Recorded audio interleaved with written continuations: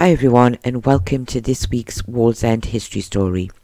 This week I am covering the story of the incorporation of the borough of Wallsend. However, I know that most of this is what I call technical stuff or in other words legal details, something that is quite hard to understand and would be a little bit boring, so I will include a few of the more interesting details from the petition and then cover the celebrations that took place after the incorporation was improved in 1901. It's not actually meant to be the full details of everything, it's just a little insight into some of the things that went on at the time. I hope you will still find it interesting. The application, which was known as a petition for incorporation, was first seen by Queen Victoria in 1898. Some of the interesting details from this are as follows. In 1861, the census said that 2,371 people lived in Wallsend. By 1871, the figure was 4,169. In 1881, it was 6,351 and in 1891 it had risen to 11,620 and by the time the petition was put in the estimated amount of people living in Wallsend was 18,192. This gives a good example of how quickly Wallsend was growing as a town.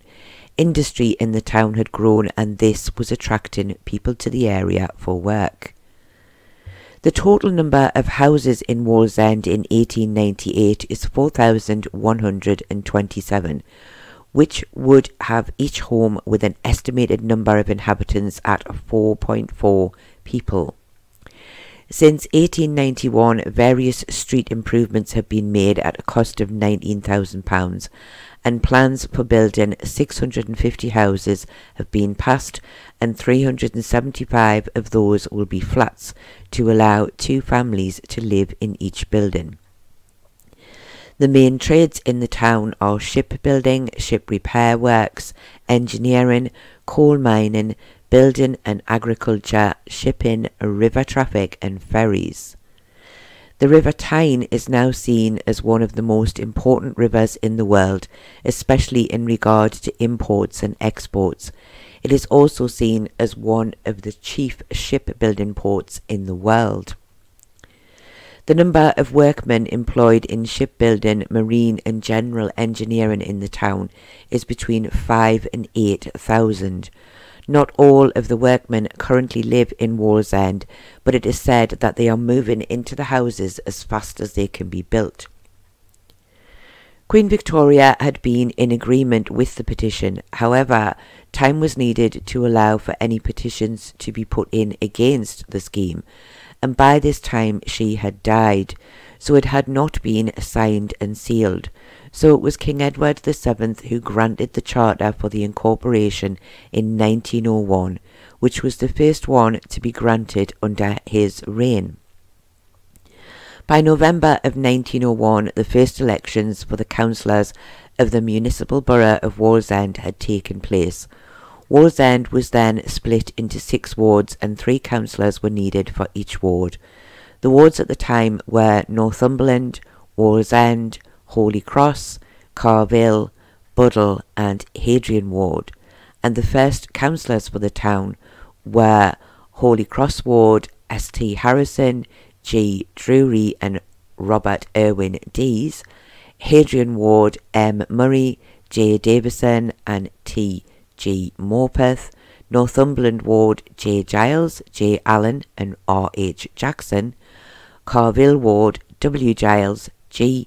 A. Allen and G. Elliott, Wallsend Ward, J. O'Hanlon, T. Snaith and R. A. Hall, and finally Buddle Ward, A. Thompson, C. Stevenson and J. Duffy.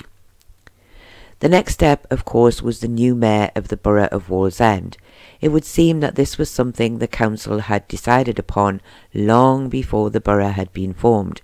They had always been sure that the first mayor should be Mr. William Boyd. He was nominated by Councillor John Giles and this was seconded by Councillor Harrison.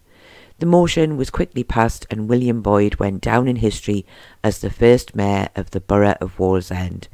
The deputy mayor was to be Alderman Allen. At this time, the council were using a room in the Masonic Hall for their council chambers, as the town hall was not yet built. I won't go into that here though, as I have already covered the story of the building of the town hall in another video. So the very first meeting was held in the Masonic Hall. After his election as mayor, William Boyd then went on to talk about some of the history of Wallsend. A couple of the things that I found interesting were his details about the village green, and he had stated that the original town, which stood on the site of Segedunum and was built, in his words, out of the ruins of the Roman fort, had fallen victim to the plague, and those living there had decided to rebuild a new village a fair distance away from the old one, and so Wallsend Village Green was born. Sadly, he does not give any details of when the first houses were built, but some of those on the green are the oldest buildings in Wallsend.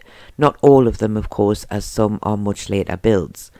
I don't actually remember hearing this story about the original village or about when Wallsend Green was first built. So if anyone knows any more about this, please do let me know as I might even use that in a future story. He also talked of the monks of Jarrow crossing the Tyne on stepping stones to get to Holy Cross Chapel.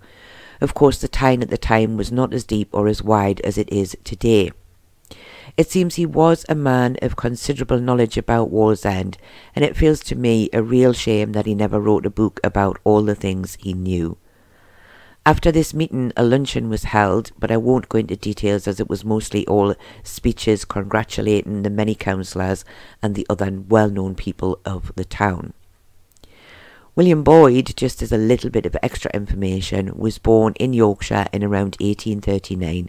He moved to Wallsend in around 1874, and from then on he was very involved in the town and its growth. He does not seem to have ever actually lived in Wallsend. Census details give his homes as Longbenton and Jesmond, but he clearly loved the place. He retired from council life in around 1906 and in his later years he moved away from the area, dying in Cheltenham in 1919 and he is buried in St Mary with St Matthew's Churchyard in Cheltenham. In December of 1901, the first civic procession of the borough took place. It was known as Mayor's Sunday. The procession walked from the council chambers, which as mentioned earlier were currently at the Masonic Hall, to the Church of St. Peter's, where a service was held by Canon Henderson. It was said that the church was full to capacity and that hundreds of people had been turned away as there simply wasn't room for them all inside. It was said to be a lovely day despite it being winter, and many people had lined the roads to watch the procession pass by. And after the service, everyone walked back to the Masonic Hall with the same crowds watching them pass by on their return. This would be the first of many Mayor's Sundays. A few other events also took place in 1901, one of those being the Mayor's Banquet. It was certainly a year full of celebration and it did not end in 1901, as in August of 1902 the Mayor and Mayoress held a garden party in Wallsend Park. The use of the park for this party had been granted by the Wallsend Town Council, though I doubt very much that they would have actually refused this.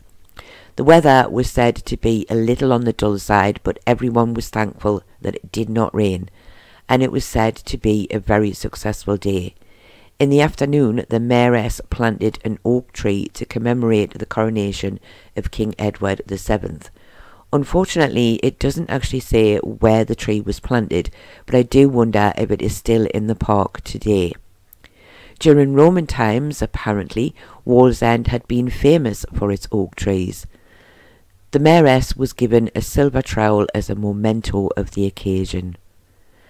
The garden party had been by invitation only, and it seems it had been very well attended. And as much as I would love to read the names of those who were there, it would take quite some time, as there are around 202 names on the list. but it did include several of the mayors and mayoresses from the surrounding towns and people like Robert Richardson Dees, Dr. Aitchison, and the Mordew family, to name just a couple. It seems that the garden party was a very fitting end to the celebrations of the incorporation of the borough of Wallsend. I will end with a little description of the borough coat of arms. This was a design that had been suggested by Mr. C. J. Bates, and it's described as being an eagle copied from a Roman sculpted stone found in Rochester, and it is shown standing on a wall to incorporate the idea of the Roman wall, which gives the town its name. And the black background is said to symbolize the coal mining industry of Wallsend, which had been a very significant and important part of the growth of Wallsend. The motto is not something that I am going to attempt to pronounce, but you should be able to see it on screen at the moment so you can try it out for yourself. I hope you have found this little story interesting. When Wallsend became a borough, it seems almost everyone in the town celebrated the occasion. The celebrations would happen again on the 50 year anniversary in 1951, which is a subject that I might just cover in another story. Thank you all very much for watching and I do hope to see you all again very soon.